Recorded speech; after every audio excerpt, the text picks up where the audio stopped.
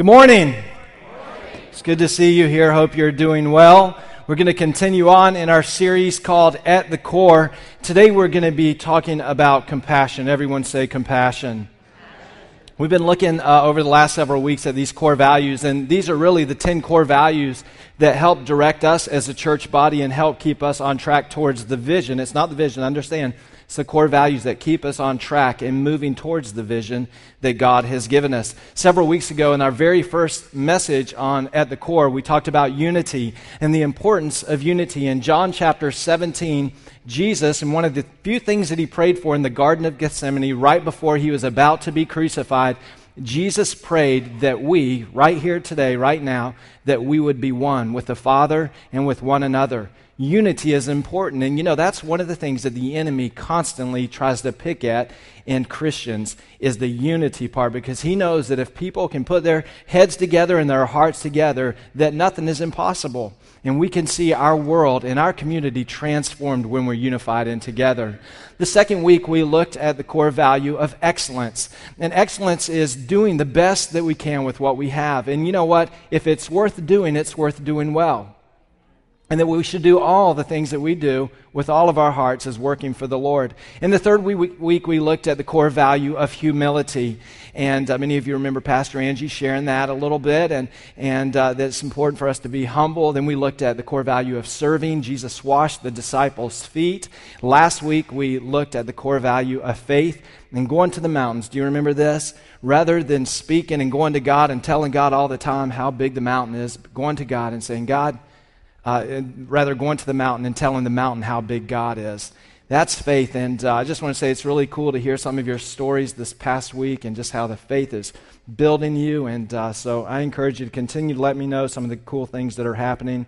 But today we're going to continue on and we're going to be talking about compassion. If you have your Bible, go with me to Ephesians chapter 4, verse 32. Bring your Bible with you if you can. I know we uh, provide it for you on the screen, but there's just something good about opening your Bible and reading along. And uh, so bring your Bible with you. And uh, anyway, Ephesians 4, verse 32. Let's look at this together. Like I said, it's going to be on the screen. When, when we talk about compassion, we use different kind of words. We, you know, sometimes equate compassion with words like pity or empathy or feeling sorry for someone or having sympathy for someone. But compassion is far more than that. And in Ephesians 4, verse 32, Paul speaking to the church of Ephesus and the believers, believers there, he said this. He said, Be kind and what? Y'all are going to have to do a whole lot better than that.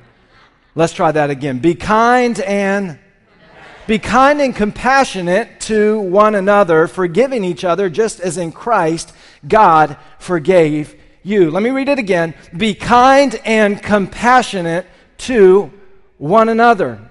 Isn't it interesting that there's a distinction drawn here between being kind and compassionate?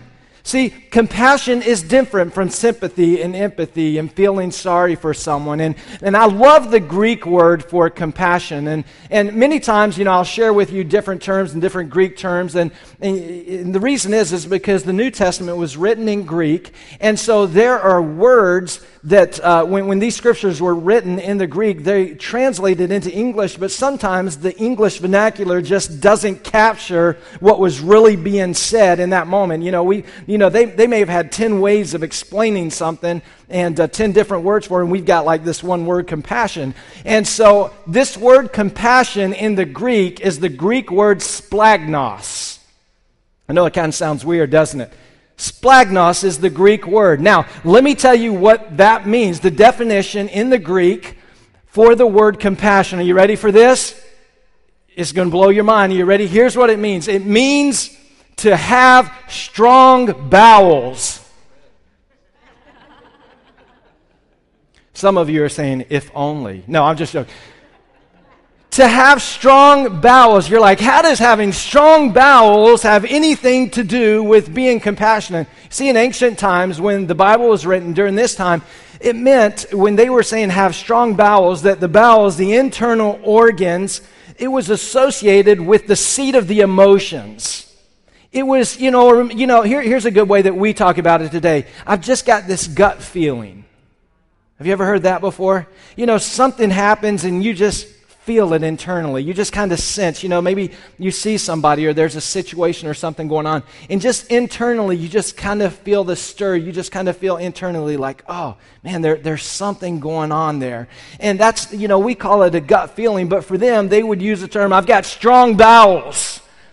I'm feeling strongly about a particular thing, which is interesting because when I think, uh, you know, this is kind of crazy, but in preparation and study and doing some research for some of this, you know, I heard the word strong bowels for the definition, and, you know, in my humanity, my mind automatically went to IBS.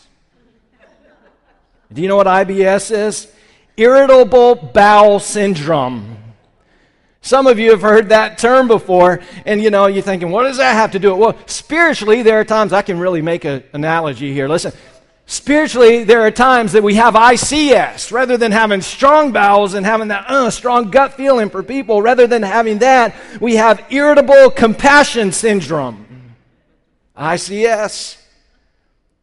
Do some people, you know, you know what I'm talking about? There are certain people at times that you just get around and they just irritate you. They just bother you just to be around them. They just bother you. You don't, you know, you don't want to hear them talk. You don't want to listen to them. You know, just hearing their voice at times, it's just annoying. You get really, really irritated. And, and that's what I'm talking about here because compassion is looking at it's having that strong, that gut feeling that this is somebody who I really, really want to help. I don't want to be irritated with them. I want to be kind and compassionate. One theologian says that compassion is actually the ethical and the moral paradigm in our spiritual lives living for Christ. That it is that important for us to have compassion. And I want to share with you really three characteristics of compassion that separate compassion from feeling sorry for someone or having sympathy for someone. And so I want to encourage you write these things down because they will if you'll apply these things to your life I say it every week, it really will bring transformation to you as a Christ follower. And this area of compassion is paramount because it's one of the things that Jesus exhibited more than anything else. In Matthew chapter 9, verse 36, and here's the first thing I want to share with you, and that is that compassion sees. Compassion sees. Look with me in Matthew chapter 9, verse 36. It says this. It says, when he saw the crowds, referring to Jesus, when he saw the crowds, he had compassion on them because they were harassed and helpless like sheep without a shepherd. And it goes on to say that Jesus said to his disciples, The harvest is plentiful, but the workers or the laborers are few. Pray then and ask the Lord of the harvest to send forth laborers into his harvest field. This is one of the few places that we have in the Bible where we actually see that Jesus has a problem. Did you know that Jesus has a problem? In this particular passage, the problem Jesus has, he says, there's just not enough laborers. There are not enough people. Pray that God would send people, pray that God would send laborers. And as we pray for laborers, we got to start. In order to be a soul winner, you guys with me this morning? You're awfully quiet. I need some amens every now and then. In order for us to be soul winners, we have to care about the people that we're trying to reach. We've got to care. You can't soul win, you can't reach somebody for Christ if you don't care about them and love them. And I'm just wondering if maybe, can I get all in your face today? Listen, I'm just wondering if maybe that's why we don't see the transformation and the community and the national and the worldwide transformation that is possible through Christ is because sometimes we just don't care. I was in a church one time in our small groups, we call them community groups here, but our small groups there, we called them care groups. And I remember joking around, you know, one time and saying, you know, I think the biggest group that we have in the church is the I don't care group. Seems to be the largest ones. You know, everybody attends that one, and everybody can attend that one. Do you know why? Because you never have to show up because you just don't care. When do you guys meet? Well, we really don't. We don't care. What's your Bible study on? Don't know. Don't care. How's your attendance? It's great. How many do you have? Don't care. You don't ever have to do anything. The I don't care groups. But that's not compassion. If we're going to reach people with the gospel message, we have to have compassion. And compassion sees. The Bible says that when Jesus, what? He saw the crowds. Jesus looked and he saw the people. And can you just catch an image of this? Can you just see this? And, and there's another passage in John chapter 6 that I just thought about where Jesus actually sees the people and, and Jesus is communicating. I see the compassion of Jesus preaching to the people. And it says that some of them, they heard the words that he was saying and some of the words that he was sharing. And, and they just said, This is way too difficult. This is way too hard. And they turned around and left. And in that moment, I'm sure that Jesus was aching deep down in his soul for their salvation. And in this passage here, we see Jesus looking over this group of people. And it says that when he saw the crowds, he had compassion on them. Compassion sees. You know, it's hard to see the needs around us when we're so worried about the things that are going on in our own lives. And I know we've all done this before. I'm guilty of it. I know you're guilty of it. We're all guilty of it. But there are moments that we are so focused on our own problems and the things that we're dealing with and the things that we're going through in our lives that it's hard for us to see the things that are happening around us. And I can tell you that if you'll begin to just open your eyes and you'll begin to look around, you're going to find people that are in way worse of a situation than you are. And it helps to give you a better perspective when you can see the world or see those around you through a different set of lenses. Jesus looked through the lenses, he looked through the eyes of compassion. Let me ask you this question. When you look at people, do you look at them with the eyes of a doctor or do you look at them with the eyes of a judge? See, we look at people sometimes and we see people and, we quickly judge them. You know, we judge them based on ethnicity, we judge them based on socioeconomic status, we judge them sometimes on where they came from or who they hang out with, and we're very, very quick. You know, we get like an A plus a lot of times for judging. We're really, really good. We're quick, and sometimes we call judging discernment. But we're really good at the judgment part at times, or at least I am. It's like, you know, real quick, you try to size somebody up and you see them and, you know, try to make all these determinations. And it's so easy to sometimes look at those situations. And when we do that and we see people like that, it prevents us from being able to see the need that is really going on in their lives and looking at them rather than through the eyes of a judge, looking at them through the eyes of a doctor, saying, here is somebody who is really really going through it. I've used this statement for a long time hurting people hurt people. And some of the people that annoy you the most, some of the people that bug you the most, some of the people that irritate you the most, often are some of the people who are the most broken on the inside. They're the ones that are struggling. They're the ones that are having a hard time. Hurting people hurt people. But compassion sees. When Jesus saw the crowds, he had compassion on them. Now, now during this time, in this particular passage, you guys still with me? Amen? When Jesus shared this, the people that were around him, there was so little compassion. And that's why there were thousands of people that were drawn to Jesus. If you look throughout the Word, man, throughout the New Testament, you'll see that there were crowds and crowds and crowds, thousands, hundreds, thousands of people that would follow Jesus. And I'm convinced that the reason that they followed Jesus is because there was something different about his life. There was something that when they interacted with him, when they, they came into contact with him, they sensed the compassion that oozed out of his soul, out of who he was. And so as a result, they were living in a time, they were living in a system that showed very, very little compassion for anyone anyone. There was little compassion for the weak, there was little compassion for the lost or the blind or the handicapped or the chronically ill. And the reason there was so little compassion is because they actually believed that the reason they were in the condition that they were was because it was a punishment. They were suffering as a punishment for the sin that they had committed or that their parents had committed. And so, as a result, if there was any kind of ailment, if there was any kind of issue, anything wrong with you whatsoever, you would be alienated and kind of cast out and have no compassion. I'm glad that's not happening today because none of us would have ex- compassion extended to us because we all have issues. We all have things going on in our lives. And so, Jesus stepped into that type of a scene.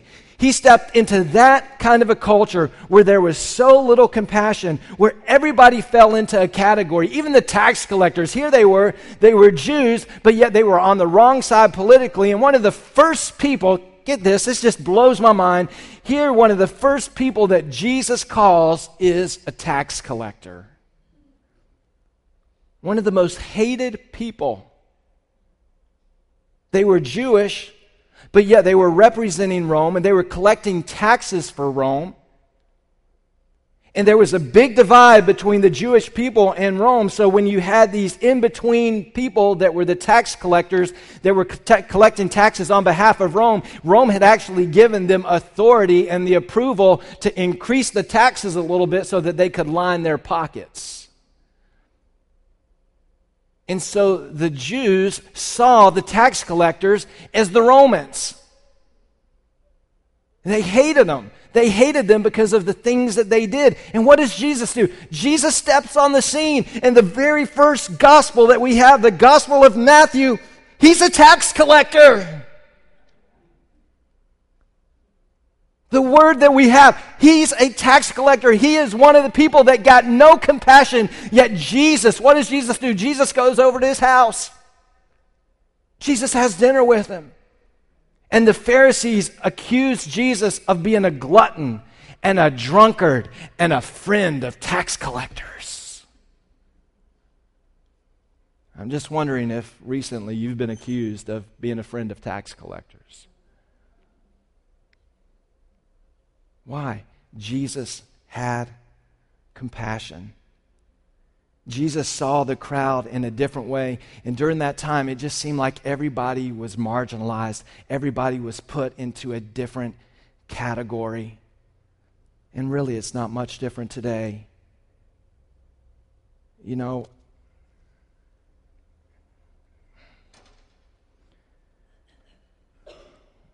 we like to think that, I'm just going to say it, we like to think that we've got it all together and we've got it figured out and and there's nothing really as Christians there's nothing wrong internally within us. But depending on how we grew up things that have happened in our lives deep down inside there's probably some prejudice in all of us that separate us and cause us to put people in categories. It may even cause us to look at people or certain groups of people as being unreachable. Well, these people can't be reached because they're this way. These people can't be reached because they're this way. Well, these people are in the condition they are because of the decisions that they've made and the things that they've done.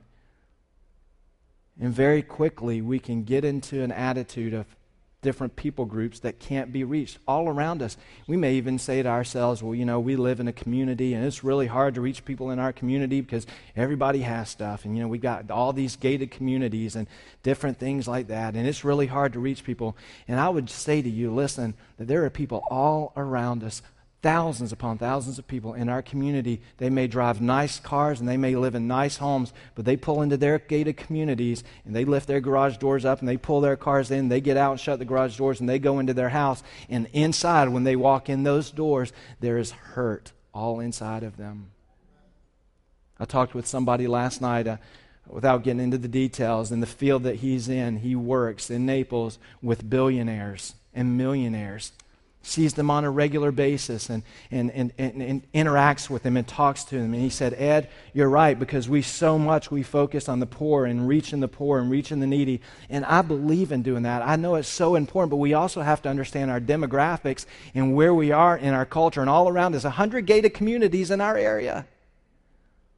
And he said, Ed, the people that I interact with, the people that I, he said, they're billionaires, they're millionaires, they have more than they could ever need, and their kids are on drugs, and their kids are in prison, and they're struggling with morals in their life, and they're struggling with alcoholism. But on the surface, they mask stuff with things. And so we look at them and say, well, they've got all they need. There's no way that they're ever going to be reached with the gospel, not knowing that internally they're hurting and they're broken. You guys with me? And what compassion does is compassion looks past the stuff and compassion sees. Compassion sees the hurt. Here's the second thing compassion feels. When he saw the crowds, look at the passage again, look at the verse. When he saw the crowds, he had compassion on them. They were harassed and helpless, like sheep without a shepherd. Compassion feels means this that when Jesus interacted, when Jesus saw the man with leprosy, that when he came across and Jesus saw this guy that was outside of the city, he wasn't allowed in the city. He wasn't allowed to talk to anybody. He wasn't allowed to be around anybody. He wasn't allowed to touch anybody. And that when Jesus saw this guy and he interacted with him, it means that Jesus, because compassion feels, Jesus felt the same sorrow. Jesus felt the alienation. Jesus felt the same things that he was going through. When the man's daughter died, Jesus felt the bereavement. He felt the sorrow. When he came across the people that were hurting and lame and sick, it means that Jesus felt the same things that they were going through because compassion feels compassion feels. I think one of the, the greatest scriptures that, that really give us a snapshot of the humanity of Jesus is found in uh, John chapter 11, verse 35, where it simply says this shortest verse in the Bible Jesus wept. Jesus cried. They came to him and they said, Jesus, the, the, the one you love, Lazarus, the one that you love, man, he's your best friend. He's like family to you. He's one of the guys that you hang out with. The one you love is dead. And Jesus felt the brokenness that his sister felt, and those that were friends with Lazarus, the same things that they felt, he felt internally. And it says, as a result of that, Jesus wept, he cried, he felt the emotion and the sorrow. Compassion feels. See, it's hard to help mend the wounds and help heal the wounds that we don't feel. And I'm praying and saying, God, help us to see the wounds. Help us to see our community. Help us to see the people that we interact with on a day to day basis. You know, there are people that you come in contact with on a regular basis. You know, I kind of have different places that I go to all the time, whether it's, I used to go to Starbucks all the time every morning, and I saw the same people every single day. And then I stopped going there because I decided I wanted to save $5,000 a year. You know what I'm talking about. And, and so, you know, and now, you know, I, our lifestyle as a family is just like so fast paced and interactive. We're not good grocery shoppers. You know, we're not really good at grocery shopping for like two weeks in a row, you know, like going once every two weeks. That's not us. We're like day to day. You know, we're the day-to-day grocery shoppers, you know. It's 5:30, we're on our way home. What do you want to eat? I don't know. I'll stop by the store. I mean, that is every single night. Every night.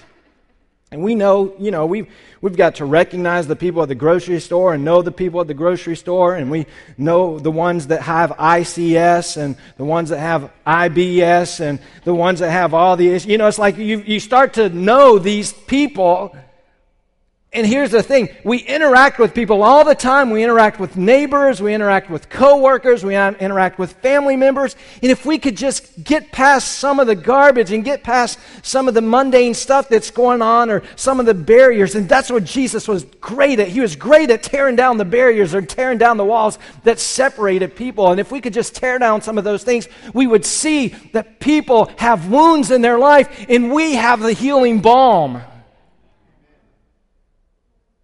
Because compassion feels. Compassion sees and compassion feels. And then, thirdly, look at this compassion does.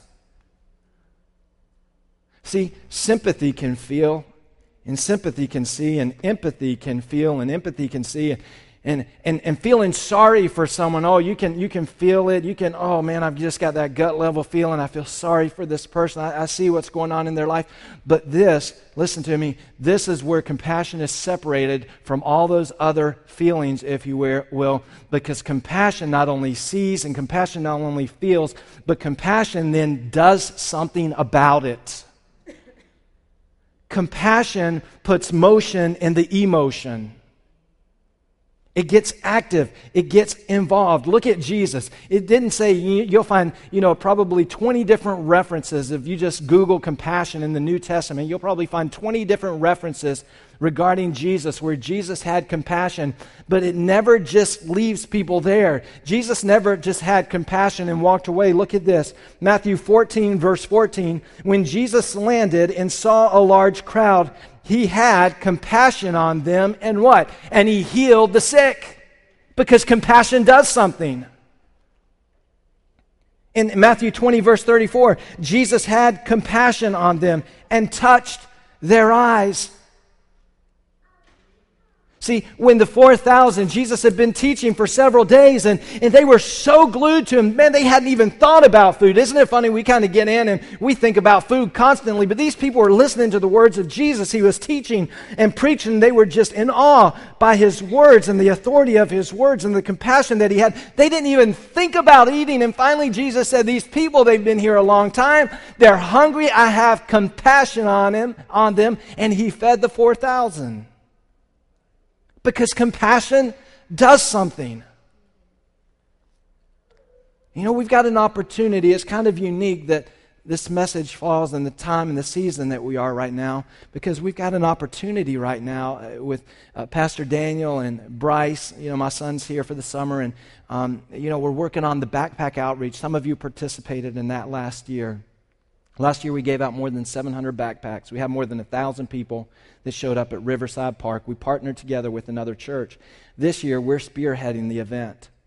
We're going to be doing it again, and this year, we're going to have 1,000 backpacks that we're going to be supplying for our church, and we're going to re- be reaching out to the poor and to the needy and those who are struggling. And, and some of you will remember last year that people waited more than two hours, two to three hours, in a hot line to get a backpack. And we can talk about loving people and we can talk about reaching the community and compassion sees and we see the needs and all that. But see, we can talk about all those things, but ultimately, compassion does something about it. Compassion does. And I'm grateful for the organizations in our community that are doing something about it. I'm grateful for the organizations that we partner with, Bonita Assistance different organizations, St. Matthew's House down in Naples, organizations that we work with, that we send volunteers to, that are doing something about some of the needy problems. But we've got to be careful. Listen to me. We've got to be careful that we just don't pawn it off or that we throw a couple of bucks at it and think that we've just somehow got off because we are all responsible. Every single one of us are responsible for doing something just mentioning it, I was so encouraged by our people last night. We had a great service last night. We got a great service already today. It's going to be a great weekend. I just know that. Last night, more than 20 people signed up to be volunteers at the Backpack Outreach. It's incredible. I know a bunch of you are going to sign up. Go to the Welcome Center, sign up today. Let us know that you want to help. You know why? Because compassion does something. In Colossians 3, verse 12, I'm getting ready to wrap this up, but listen to this. Colossians 3, verse 12 Listen to what Paul said. Paul said this. He said, Therefore, as God's chosen people, holy and dearly loved, look at this, clothe yourselves with compassion. Don't you like that?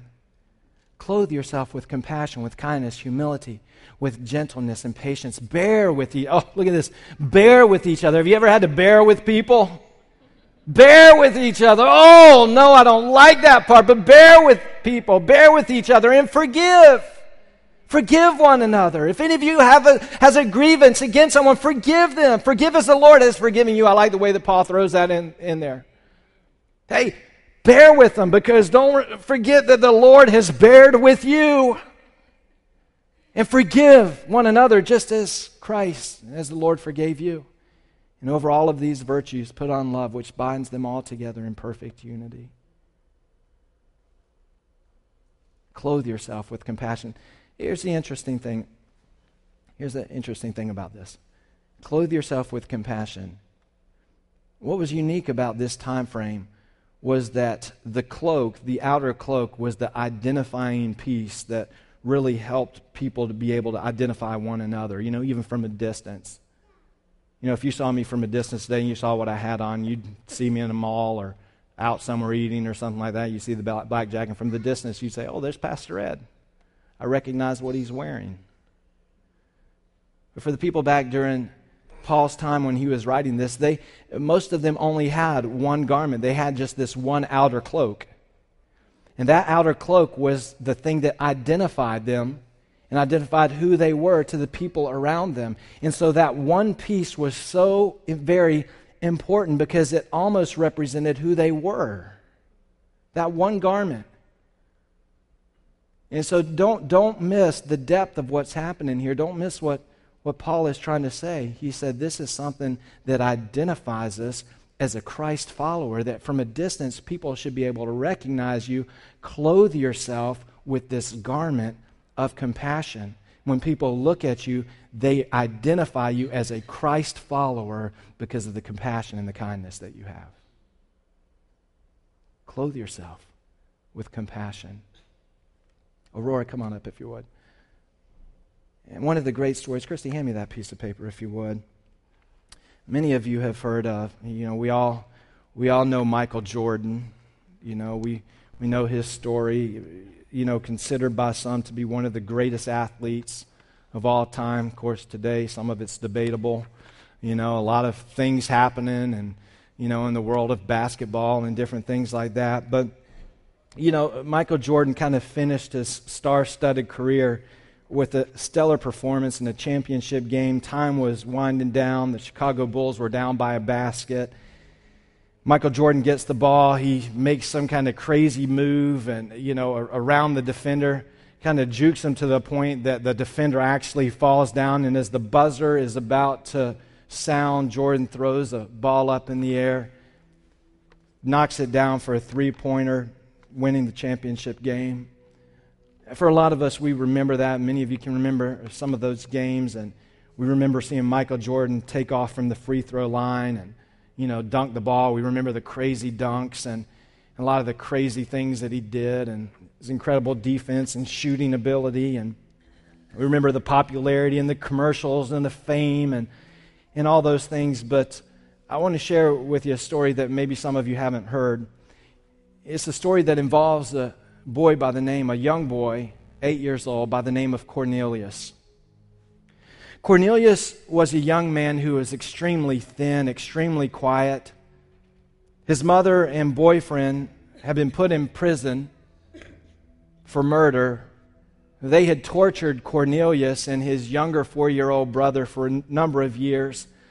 One day, Cornelius picked up the phone. The torture was so bad, the abuse was so bad. He picked up the phone. His brother, his four year old brother, was being abused so bad that secretly he got away, was able to call 911. When the police showed up, they ended up taking Cornelius out of the home, but his young brother Lattie didn't survive the abuse from that earlier that day. I, I can't even tell you how horrendous. The prosecutor said that it was the worst, and the police said it was the worst abuse that they had ever seen in all of their lives. This young boy by the name of Cornelius was taken out, obviously, and testified against his mother and boyfriend. They were put in prison and ended up going to a couple of different foster homes. But this reporter picked up the story and began to tell the story of Cornelius and talked about his love for basketball and reading.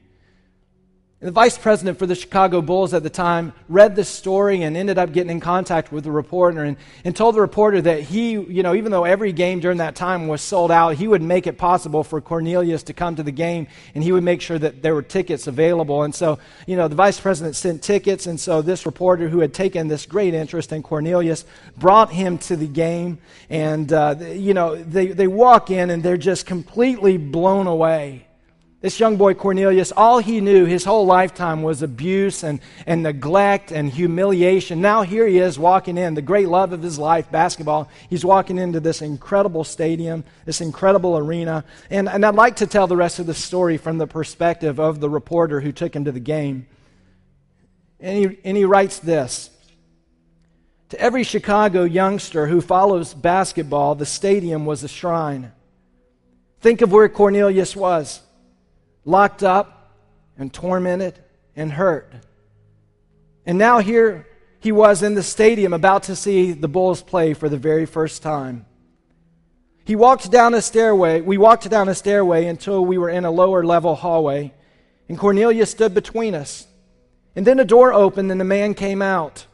Cornelius looked up and his eyes filled with a combination of wonder and awe and total disbelief. Cornelius tried to say something. His mouth was moving, but no words came out. He tried to speak, and then the man helped him out by speaking first. Hi, Cornelius, the man said. My name is Michael Jordan. Jordan knelt down and spoke quietly with Cornelius. He made some jokes and told some stories about basketball and took his time and didn't rush. You have to understand that for a long time, the only adults Cornelius had any contact with were adults who wanted to hurt and humiliate him. And now Michael Jordan was saying, Are you going to cheer for us today? We're really going to need it. And Jordan went back to the locker room to finish dressing for the game. I walked Cornelius back upstairs to the court, and there was one more surprise waiting. Cornelius was given a red shirt of a kind worn by the Bulls ball boys. He retrieved balls for the players from both teams as they warmed up. Then, as the game was about to begin, he was led to Jordan's seat on the Bulls bench. That's where he was going to sit, right next to Jordan, right in Jordan's seat. And during the minutes of the game when Jordan was out and resting, Cornelius would be sitting next to him. And then when Jordan was on the court, Cornelius would be saving a seat for him. And at one point late in the game, Jordan took a pass and sailed it into the air and slammed home a basket.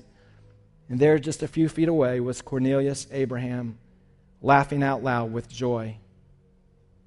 And we all applauded the incredible basket, the act of kindness that Jordan showed Cornelius was receiving the applause of heaven. Because you see, greatness in the kingdom of heaven is measured by the small acts of kindness. You know, we hear different stories and we make them so grandiose, and we hear great stories of compassion, and we say to ourselves, well, sure, if I got an opportunity to do something really big, I would do it.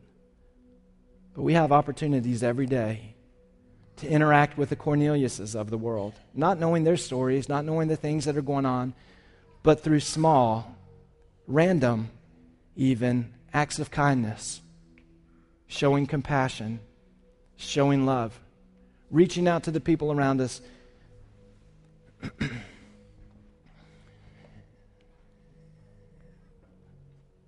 and I'm convinced, I'm absolutely convinced that we can see a radical transformation take place all around us. All around us. Bonita for Jesus. Naples for Jesus. Estero for Jesus. Fort Myers Beach for Jesus.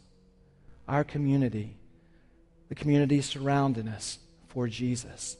And I believe we could see that happen if we reach out in love, kindness, and compassion with that strong gut feeling that we do something about.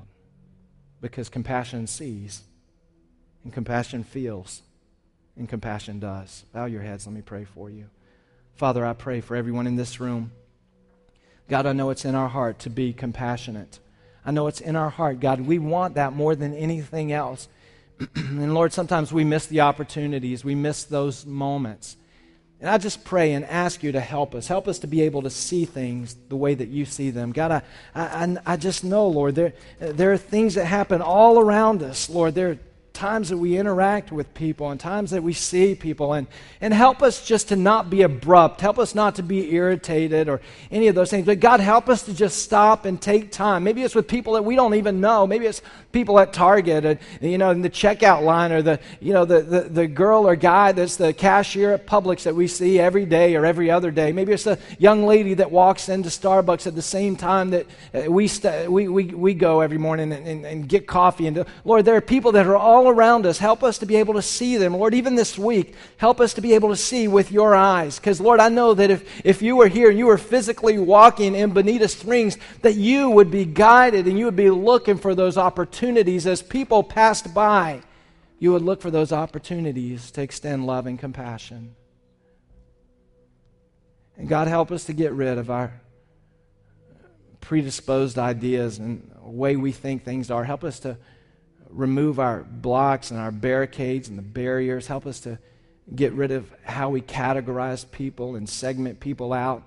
And help us to see and understand that for God so loved the world. God, this week, would you give us opportunities? Lord, with the backpack outreach, would you do something incredible in it? God, would you uh, bring people and gather them together so that we can impact thousands of people? Maybe it's not going to be with the gospel message, but it might be through love and compassion and uh, Christian songs being played and a helping hand. Lord, you said when you've done it to the least of these, you've done it to me. God, we just thank you. We thank you so much that you're stirring our hearts. If you're here today and you say, Ed, pray with me because my life isn't right with Jesus today, I need to give my life to Christ because my life is not right with God. And I know that if I were to stand before God right now and He were to ask me, Why should I let you into my heaven? I wouldn't know what to say. But if you're here and you need to get your life right with God today, I want you to pray with me. Jesus, come into my life. Forgive me of my sins. Cleanse me, wash me, purify me. From this day forward, I will live for you for the rest of my life. I thank you for saving me and dying on the cross for me. In Jesus' name, amen. Amen. If you prayed that,